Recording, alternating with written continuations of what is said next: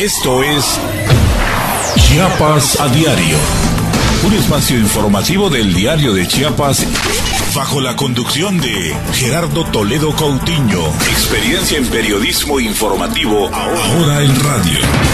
Todos los sucesos que hacen historia los llevamos a usted con veracidad, objetividad y rapidez. Chiapas a diario, la escena global de la información.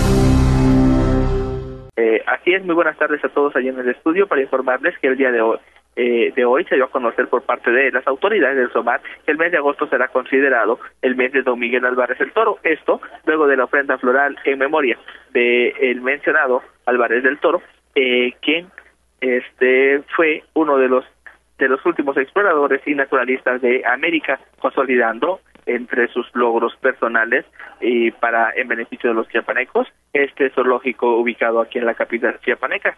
Dentro de este marco también se dio eh, apertura a nuevas exposiciones temporales en, entre ellas el Museo del Cocodrilo, en el Museo del Zoológico y en el Aviario, mismos que se mantienen eh, a partir de hoy aperturados al público en general. Cabe hacer mención que los días martes el zoológico ofrece entrada gratuita a todos sus visitantes, tanto eh, locales, nacionales como extranjeros. Para Chiapas a diario ha informado Tomás Aguilar.